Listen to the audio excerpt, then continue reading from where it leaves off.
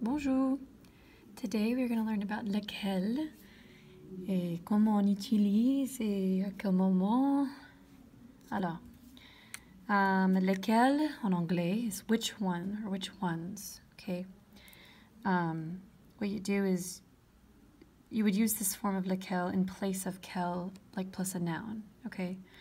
So let's just give a little explanation first.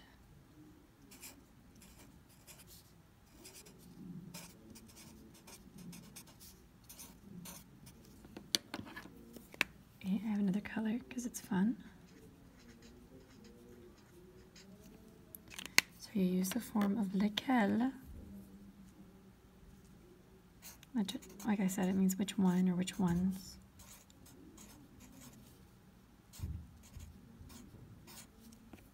Hmm, I guess we could do this too. Oh, no, it's fine. Okay. Um, lequel in place of.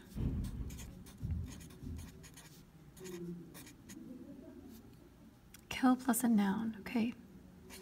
Quel, which means which.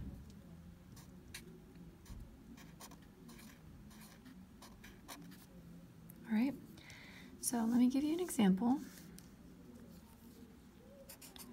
Ici, un exemple. On va dire quelle, hmm, quelle matière choisir Ooh. Okay, which profession will you choose? So instead of saying which plus a noun, right? Noun. Which plus noun. Instead of saying that, what we could say is which one will you choose? Okay? And the way to do that would be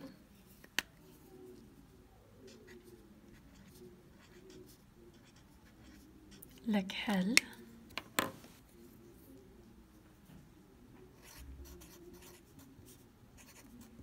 choisirez-vous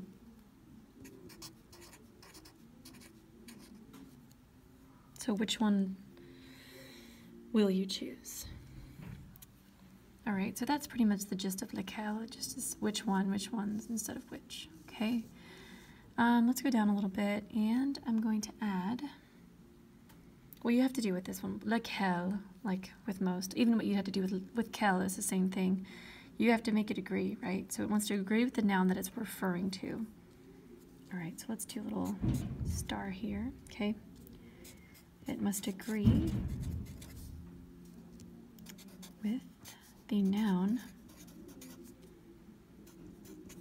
it refers to, okay?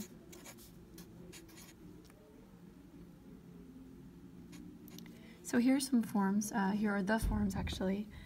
So let's do uh, our box, right? We have our singular always. And our plural. And we have our masculine and our feminine.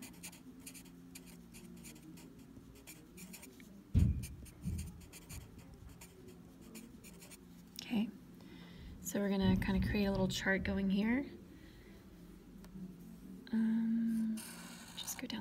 Okay, so what, what I have here is we have our masculine form,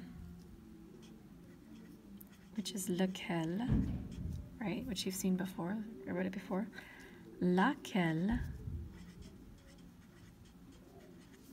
which is our feminine form, which is just the feminine form the and the feminine form which.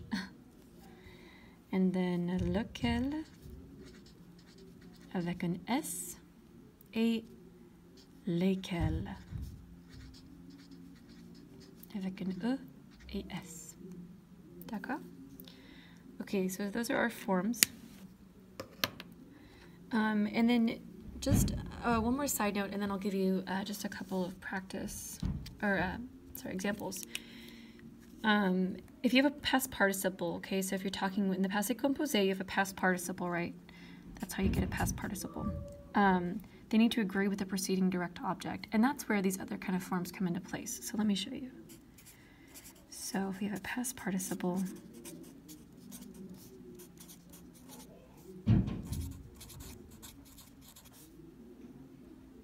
um, sorry, agree with preceding direct object.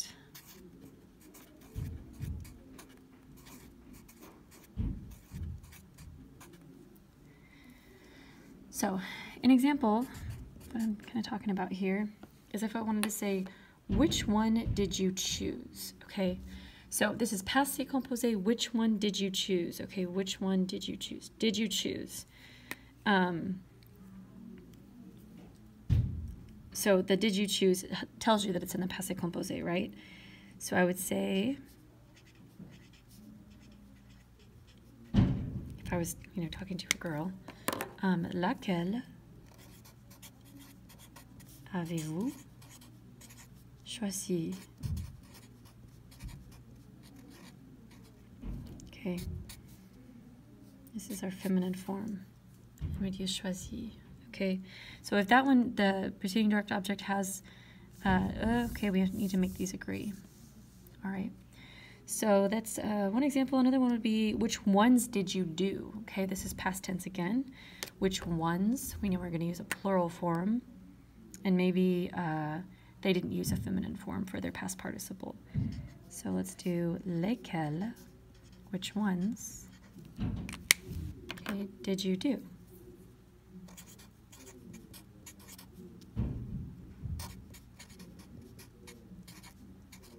Okay, he has an S, so he's going to have an S. We need to have them match, right?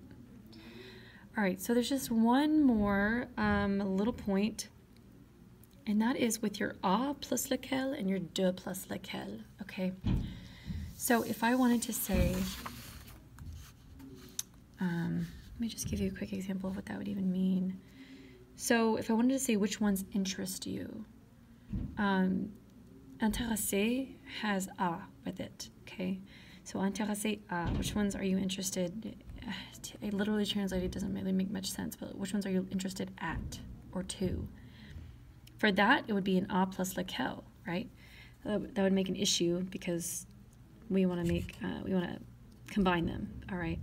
So our a plus lequel is going to give us a different form. And again, we need to make our chart singular plural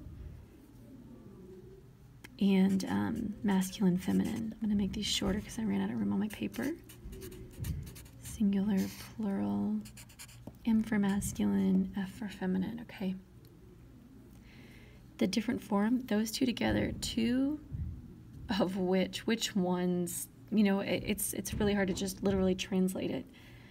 But what you would want to do is change it to o right? Just like you did a plus le before you learned that, how to say to that or at that. The a plus the le should immediately make a siren go off in your head. Woo, woo, woo. That's not right. That's not right, right? It's the same thing with a plus lequel. Again, this could never happen. They have different forms for it, all right? So a plus le is the same. Um, de plus le is the same. We have these different forms. Um, and so it's the same thing with lequel and, and laquelle. Okay, so let's just finish this out. À laquelle. And then we have auquel. And auquel. All right. So hopefully now you can see that a little bit. A plus le, excuse me, A plus le does the same thing. Masculine, feminine, it does the AUX, and then you're just mixing them, or you're just uh, adding your kel. And then the one over here is like I was mentioning, de plus lequel, okay? Um, and I'll show you exactly how we did the other one, right? If you take off ke and you look, or kel, sorry, and you look, de plus le, Immediately, siren should go off in your head. It's not de plus le, it's du. De plus uh, la is de la. Um, de plus le is de, right? There's another form that there's another form that is formed. So it's the same thing with these. Okay. So we're going to have our singular form. We've got our plural form. And then we'll do our M for masculine and our F for feminine. Let's try to separate these a little better. Okay. So first one, if you can guess, de plus le equals like I said, du, and then guess what? You just add duquel, okay? So it's pretty much the same that we've done before. De laquelle. It's not the same, but hopefully the, the similarities and some things that you've learned um, will help you remember how to do this. Desquels. And then desquelles pluriel avec les doubles L, E, S. Okay. I don't have room for um, examples, but one, which ones interest you? Auquel vous intéressez-vous? Or if I wanted to use this, I would say which uh, which one are you talking to? Are you talking of? Are you talking about? To use de for that, right? And in order to do that, we would have to say vous parlez duquel. Are you talking of which one? Okay. So euh, j'ai fini.